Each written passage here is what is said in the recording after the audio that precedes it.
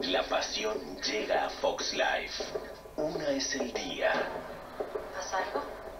La otra, la noche.